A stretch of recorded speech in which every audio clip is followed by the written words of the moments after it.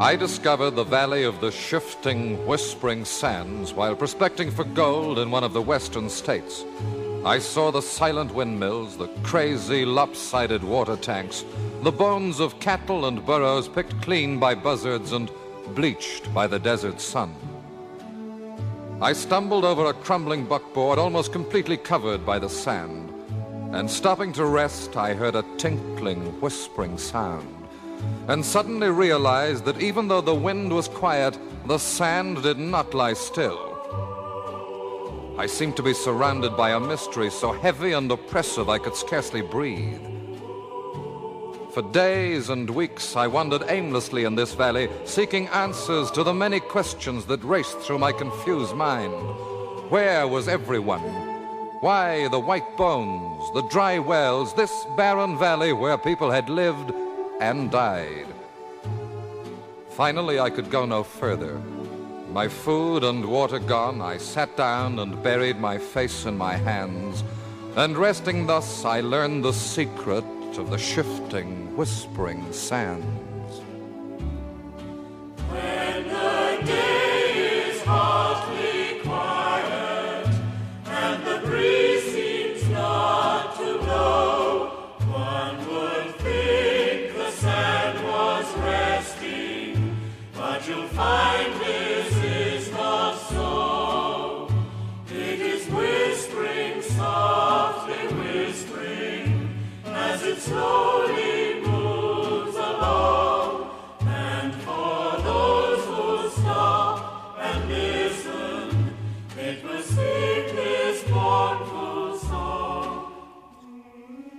The sidewinders and the horn toads of the thorny chaparral. Endless sunny days and moonlit nights, and the coyote's lonely yell. Coyote's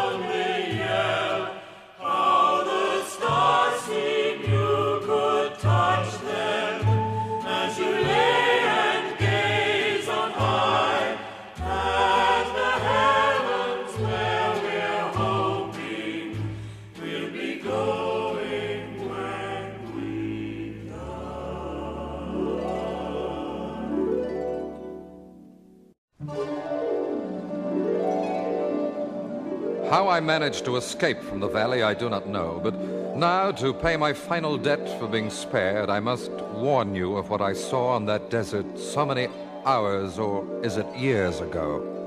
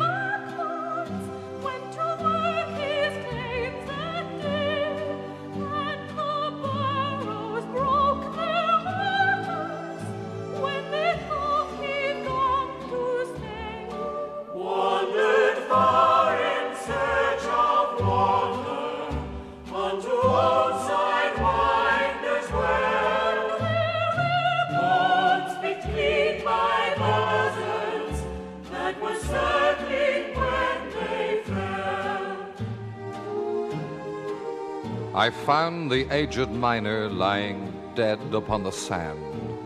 Out there, I could but wonder if he died by human hand. So I dug his grave and laid him on his back and crossed his hands. This is what